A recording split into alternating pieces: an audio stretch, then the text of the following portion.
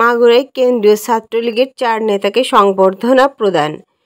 বাংলাদেশ ছাত্রলীগ কেন্দ্রীয় কার্যনির্বাহী সংসদের পূর্ণাঙ্গ কমিটিতে নেতৃত্ব পাওয়ায় মাগুরার চার কৃতি সন্তানকে সংবর্ধনা প্রদান করেছে মাগুরা জেলা ছাত্রলীগ তিরিশ জুলাই রবিবার বিকাল তিনটায় সরকারি হোসেন সৈয়দ সোহরাদ্দি কলেজ প্রাঙ্গণে এ উপলক্ষে আলোচনা সভা ও সংবর্ধনা প্রদান অনুষ্ঠিত হয় সংবর্ধনা অনুষ্ঠানে প্রধান অতিথি হিসেবে উপস্থিত ছিলেন বাংলাদেশ ছাত্রলীগের সাবেক সাধারণ সম্পাদক ভারপ্রাপ্ত মাগুরা এক আসনের সংসদ সদস্য আলহাজ অ্যাডভোকেট মোহাম্মদ সাইফুজ্জামান শিখর এমপি বিশেষ হিসেবে উপস্থিত ছিলেন জেলা আওয়ামী লীগ সভাপতি বীর মুক্তিযোদ্ধা আফামা আব্দুল ফাত্তা জেলা আওয়ামী লীগের সিনিয়র সহসভাপতি ও সদর উপজেলা পরিষদ চেয়ারম্যান আবু নাসির বাবলু জেলা আওয়ামী লীগের সাধারণ সম্পাদক ও জেলা পরিষদ চেয়ারম্যান বাবু পঙ্কজ কুমার কুণ্ডু প্রমুখ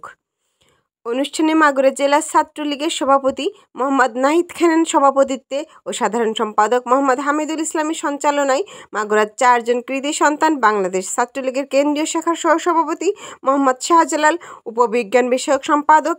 এম দাদুল হাসান সোহাগ অটিজম বিষয়ক সম্পাদক সৌরভ ঘোষ সদস্য সৈয়দ সাব্বির হোসেনকে সম্মাননা ক্রেস প্রদান করা হয়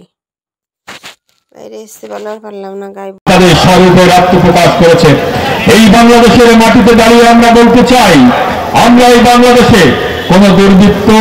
যারা যারা মানুষ হত্যা করে তাদেরকে আমরা এই বাংলার মাটিতে কোনো আন্দোলন সংগ্রাম করতে দেব না আমরা আবার হই বাংলাদেশে তারা শান্তি সমাবেশ বাংলাদেশে তারা সমাবেশ করছে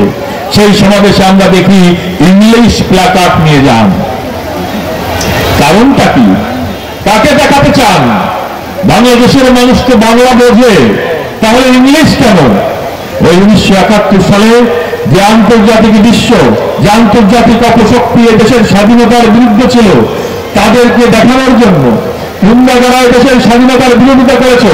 তোমরা তাদেরকে দেখানোর জন্য এই ইংলিশ প্লাকার্ড নিয়ে গিয়েছ আমরা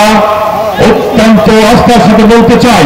জননেত্রী শেখ হাসিনা এই বাংলাদেশের মানুষকে ভালো রেখেছে এই বাংলাদেশের ছাত্র সমাজ ভালো আছে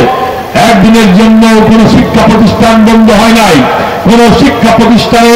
অস্ত্রের সঞ্চালনে নাই কোন শিক্ষা প্রতিষ্ঠানে অশান্তি নাই আজকে বছরের প্রথম দিন বিনামূল্যে আমরা বই পাচ্ছি আমরা বিনা বেতনে পড়ার সুযোগ পেয়েছি আমাদের বাচ্চারা প্রাইমারি স্কুলে গেলে তার মাকে আমরা মোবাইল ফোনের মাধ্যমে উপবৃত্তি দিচ্ছি এই বাংলাদেশের ছাত্র সমাজ যেহেতু ভালো আছে সুতরাং আমি মনে করি এই বাংলাদেশ ছাত্রলীগের নেতৃত্বে ওই দুর্বৃত্তদের বিরুদ্ধে প্রতিরোধ করে উঠবে আমি বিশ্বাস করি এই মাগুরা ছাত্রলীগ এই মাগুরা এগিয়ে যারা পেট্রোল বোমা মেরে পাঁচজন শ্রমিককে হত্যা করেছিল তাদের বিরুদ্ধে প্রতিরোধ গড়ে তুলবে আপনারা কি রাজি আছেন আপনারা প্রস্তুত আছেন যদি প্রস্তুত থাকেন তাহলে এখন থেকে যতগুলো আন্দোলন সংগ্রামের ডাক আনবে যতগুলো কর্মসূচি আনবে সকল কর্মসূচিতে আপনারা অংশ নিয়ে এই দুর্বৃত্তদের বিরুদ্ধে যা হুশিয়ারি উচ্চারণ করে জানিয়ে দেবেন মাগুরাবাসী এই দুর্বৃত্তদের